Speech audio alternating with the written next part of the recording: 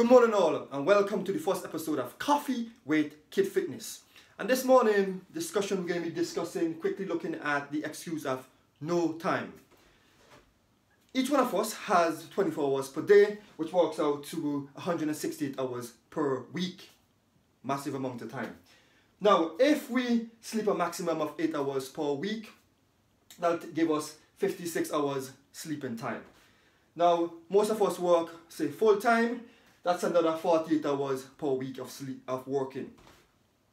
Now between that we have our time on Facebook, checking our Facebook page, eating, traveling, showering, getting dressed, spending time with the family throughout the week. That adds up to roughly 42 hours per week. If we chunk that down even more, we still have a remaining 30 hours per week. If we take even one day off, that gives leave us with five hours per week, uh, per day rather, to still work out, plan our meals, and time to hit the gym. So when you look at it from the aspect, we do have a lot. We do have a lot of time to do work on our health and fitness on a weekly basis, even if just 30 minutes per day.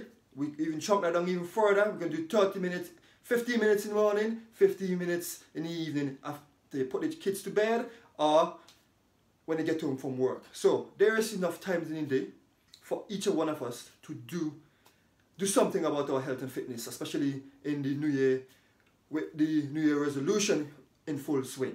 Um, I hope you find a brief and quick video informative about the excuse of no time. We do have time. We just need to apply it, uh, manage it properly.